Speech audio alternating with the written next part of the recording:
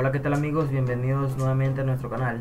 En este video les traigo algo diferente a lo que hemos estado realizando. Eh, en esta ocasión vengo enseñando algunos de los comandos básicos desde la terminal en Linux para poder hacer algunas operaciones que se nos puedan complicar desde un explorador de archivos o para entender un poco más cómo funciona desde la terminal. Bueno, en este caso aquí tengo eh, un, un explorador de archivos, en este caso es Dolphin y mi terminal de este lado. Bueno, eh, voy a estar realizando las prácticas en, el, en mi directorio de desktop. Ahí es donde vamos a estar realizando las prácticas.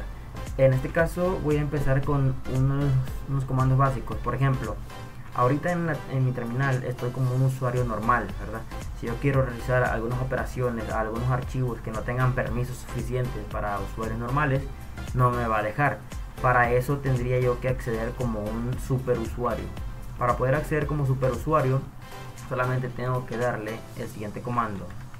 Sudo zoom.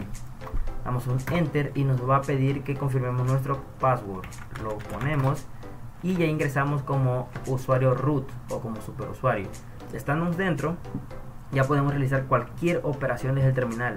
Solo que hay que tener mucho cuidado porque a veces nos podemos llevar o eliminar algunos archivos desde el sistema modificar algún archivo del sistema y con esto podemos dejar inservible nuestro sistema eh, bueno eso sería un poco más avanzado bueno en este caso nada más quería eh, comentarles este punto.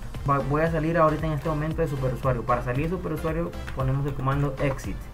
Con esto estamos fuera verdad con el comando clear limpiamos la consola ok limpiamos. Bueno para poder actualizar nuestro sistema operativo del terminal solamente tenemos que poner que hacerlo como superusuario. Para poder hacer una operación como superusuario sin tener que, entrar a lo que acabamos de hacer ahorita, a sudo su, sin tener que entrar al usuario root, podemos solamente hacerlo con, anteponiendo la palabra sudo. Con eso y el siguiente y el comando que pongamos a continuación va a funcionar como superusuario. ¿sí? Solo que en este caso al poner sudo y poner nuestro comando, nos va a estar pidiendo cada vez que hagamos eso la contraseña. Y si accediéramos directamente a usuario root, pues ya solamente nos lo pediría, nos pediría el password una sola vez. Bueno, pero en este caso voy a estar haciéndolo así. Para poder actualizar el sistema tenemos el siguiente comando, el sudo apt-get de la paquetería get apt-get y le ponemos in, perdón, es update. Con este comando lo que hace es actualizar nuestro sistema, Todo todo nos lo actualiza. Esperamos solamente que termine y estará actualizado. Perfecto. El siguiente comando es para poder instalar programas, poder instalar cualquier cosa que nosotros queramos desde el terminal. En este caso yo voy a instalar una paquetería que vamos a utilizar a continuación. Ya la tengo instalada, pero voy a mostrarles cómo es para instalar. Para instalar es similar, tenemos que hacerlo como superusuario, ¿verdad? sudo apt-get y le decimos install. ¿Qué queremos instalar?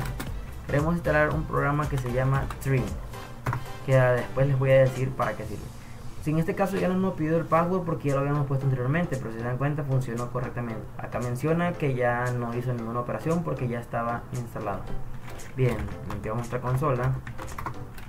El siguiente comando es para ver en dónde estamos posicionados en la consola. Para poder ver eso lo realizamos con pwd pwd nos manda la ruta en la que estamos posicionados. En el directorio home y luego nuestro usuario. Yo voy a trabajar desde el escritorio. Para eso tengo que navegar hacia el escritorio. ¿Cómo navego? Aquí vamos con nuestro siguiente comando. El comando sería cd o cd, que vendría siendo del inglés chain directory. Con este comando vamos a cambiar directorio las veces que querramos. Para poder ir hacia un directorio, ponemos cd y escribimos el nombre del directorio que queremos ir, desktop en este caso y si nos damos cuenta que ya entramos dentro de desktop. El siguiente comando que les voy a mostrar es para ver los archivos, los directorios y ficheros o archivos que tengamos. El comando sería ls. En este caso no tengo ningún fichero hasta ahorita. Para ello nos llevamos al siguiente comando que sería, vamos a crear un, un directorio que sería el comando mkdir. Con este comando le agregamos podemos crear carpetas o directorios. Así que agregamos el nombre del directorio, en este caso folder 1. Folder 1 y lo crea. Si se dan cuenta aquí en el explorador de archivo nos lo creó. Si, lo vemos, ahora para poder verlo, volvemos, presionamos ls y aquí está ya creado, Bueno, con nuestro siguiente comando ahorita vamos a crear un archivo. Vamos a crear un, fichero, un archivo. Para ello vamos a utilizar una de las tantas aplicaciones de consola. En este caso voy a utilizar la aplicación que viene por defecto de editor de texto que viene por defecto en Linux, que es Nano. Vamos a Nano y entramos.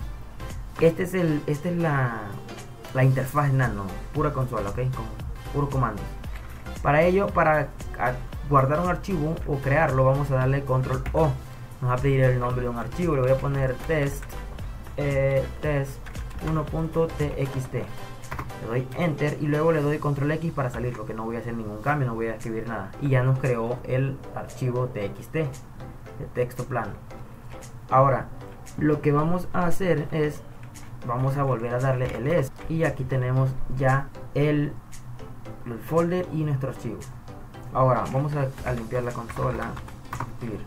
Bien, el comando, si se acuerdan al, inicio eh, instalamos el programa Tree. Este programa, esta aplicación de consola sirve para ver de forma de árbol directorios y ficheros o archivos y folders. Aquí tenemos en forma de árbol un poco más visible, ¿verdad? Que ls, son similares.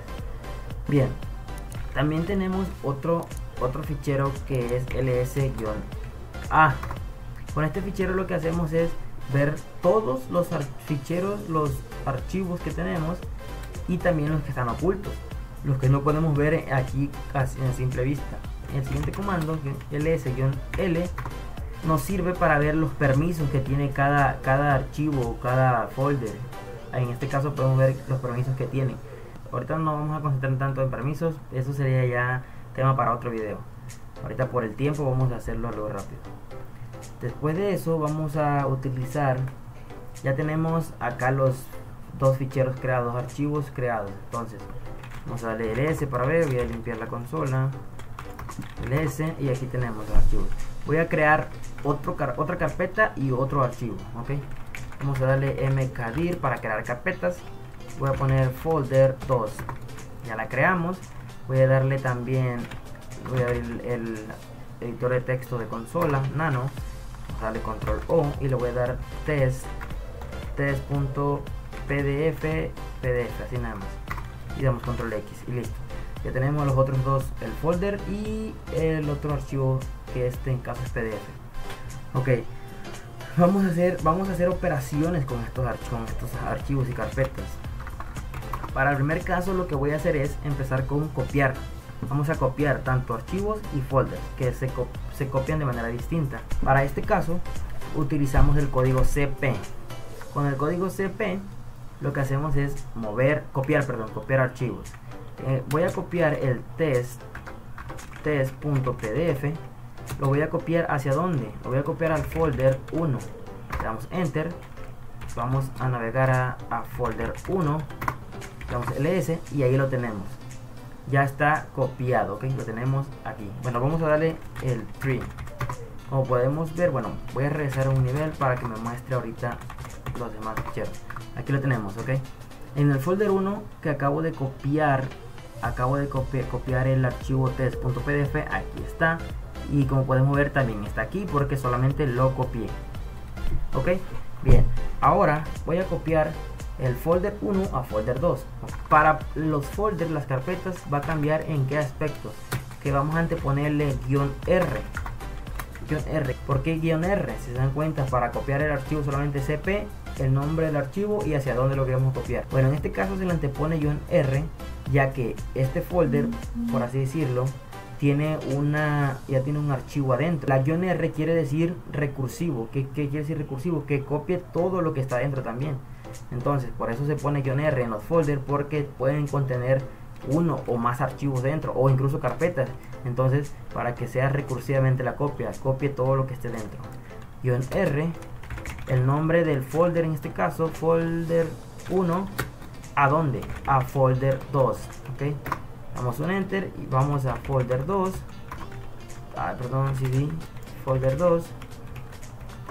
Vamos un ls y aquí tenemos folder 1 bien y si se dan cuenta vamos a regresar ahorita otra vez vamos a limpiar ahorita un poco la consola vamos a regresar al, desktop vamos a abrir el tree y si se dan cuenta acá lo tenemos el folder 1 está fuera pero también está dentro del folder 2 y como les decía como lo copiamos recursivamente copió hasta el archivo que tenía que, tiene dentro ¿no?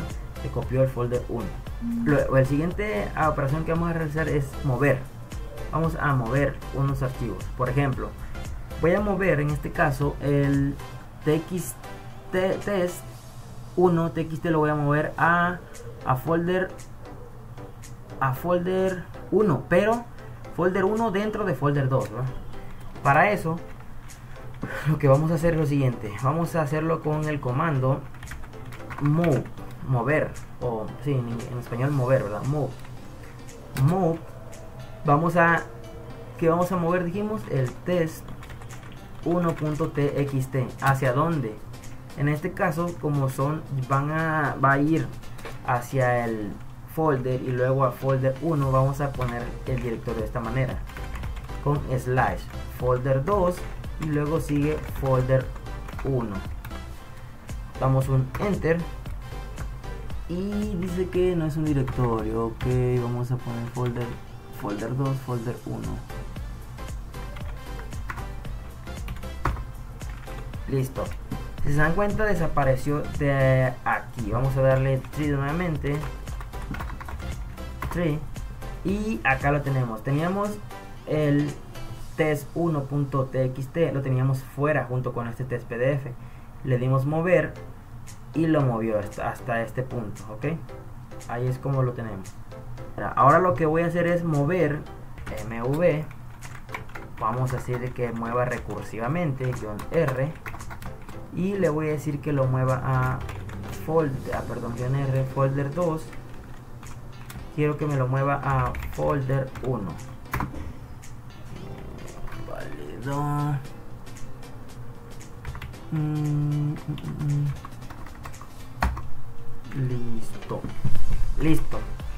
En este caso no, no es necesario poner la letra. Bueno mencionábamos si funcionó guion R si se dan cuenta acá no me funcionó con guion R porque no tenía ningún archivo dentro. El folder 2 no tiene ningún archivo dentro entonces, solamente se utiliza R cuando dentro de algún dentro de los folders tenemos archivos.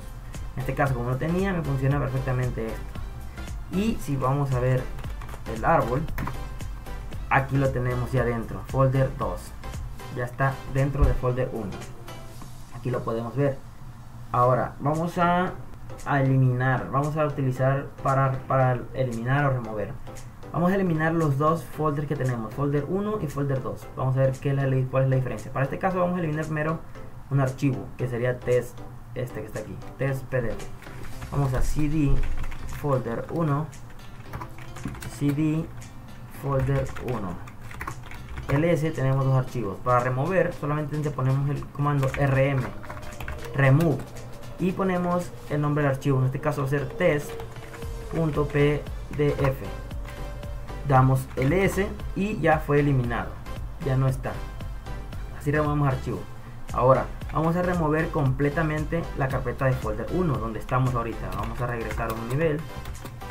Y esta ok. Vamos a eliminar folder 1 para eliminarlo solamente ponemos igual rm anteponemos recursivamente r y ponemos folder 1 ls y se eliminó completamente verdad vamos a ver vamos a limpiar y vamos a ver con tree ahí lo tenemos. Solamente nos queda nuestro folder 2 y pues nos queda también nuestro test.